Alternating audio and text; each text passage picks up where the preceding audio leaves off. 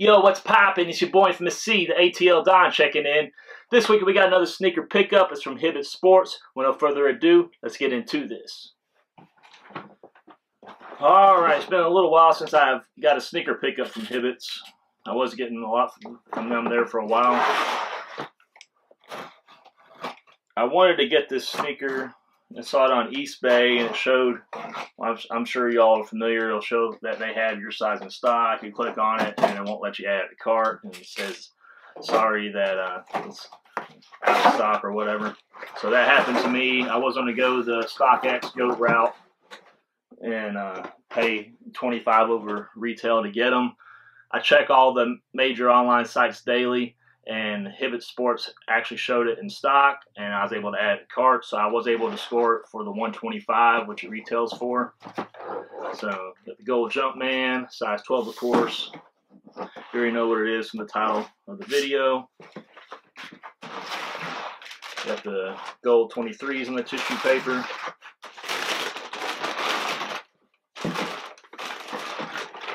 Taking the bad boys out.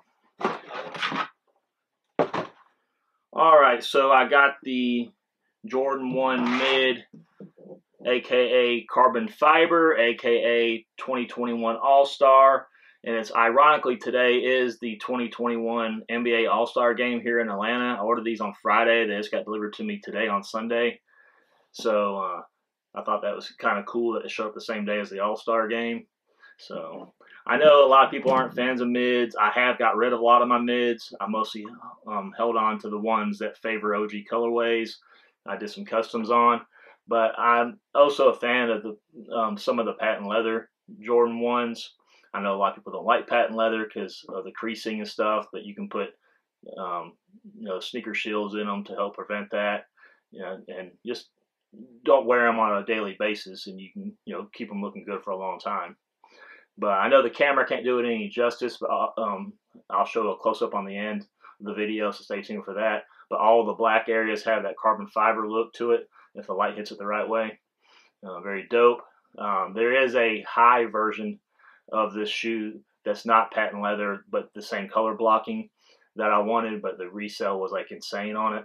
So this was the the way to go to be able to obtain the look. I think the high version that's just done in regular leather. Um, and my size was like in the seven, eight hundred dollar range. So uh, very dope. This makes my fourth um, patent leather Jordan in my collection. So I have this one. Uh, got these.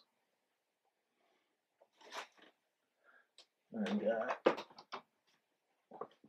these are my 2003 Jordan 1 Chicago's. I wore them to Sneaker Con a few times. Used to have two pairs of those and sold one. Now I see how much they resell for. I regret selling the other one for what I did.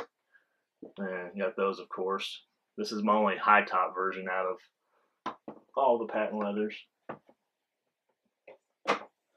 So, a few things different.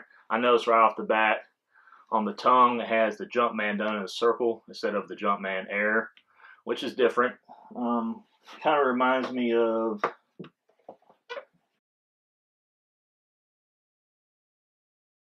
the heel on these that were um, that were some Nike IDs I made several years ago.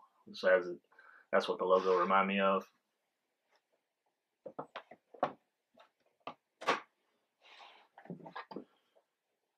So all the white areas is done like in a regular type leather, which you know they don't show much love to the mids and lows usually when it comes to material wise. And all the black areas, even the swoosh is all done in the patent leather with that carbon fiber look.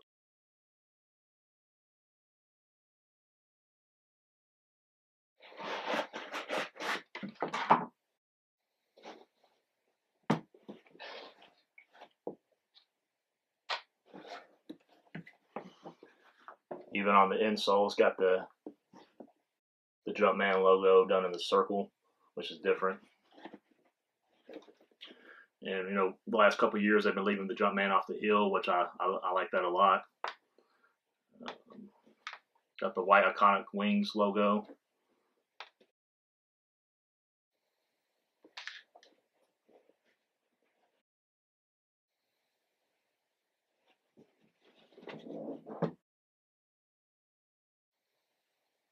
They do not appear to come with extra laces, which I would leave the black in anyways.